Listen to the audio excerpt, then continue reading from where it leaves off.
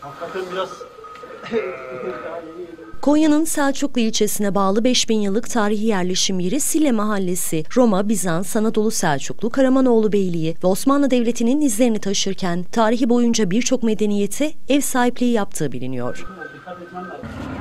Kamera vardı. Biz dedik ki şimdi bu geçtiğimiz köy Mahallede su kemeri olarak yapıldıktan sonra iki yamacı birbirine bağlayarak dar ve tehlikeli bir geçit halini alan Şeytan Köprüsü de ürkütücü görüntüsüyle dikkat çekiyor.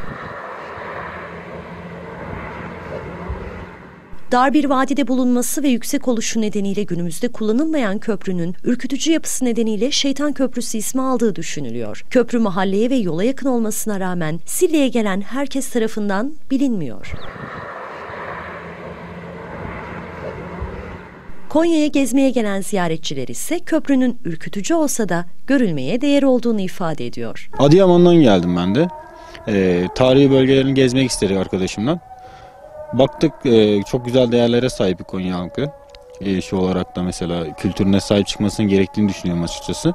Çünkü e, yapı olarak, geçmiş olarak gerçekten hani e, çok farklı bir atmosfer yaratılmış. Köprü çok güzel. Eski Horazan harcından yapmışlar buraya. Hani tarihi değeri gerçekten çok güzel. Yıllara dayanık vermiş. Yani şu anda yapılan beton binalar bile çöktüğüne göre bu 5000 yıllık bir yapı olduğuna göre insanlara düşündürür tabii ki. Gerçekten çok güzel. İşçilik çok güzel. Bizim Osmanlı döneminde işçiliği olduğu için abi gerçekten çok güzel bir yapı var yani. Hani buna sahip çıkmalıyız ülkemiz adına. Biz de vatandaşlar olarak saygılı davranmalıyız çevreye.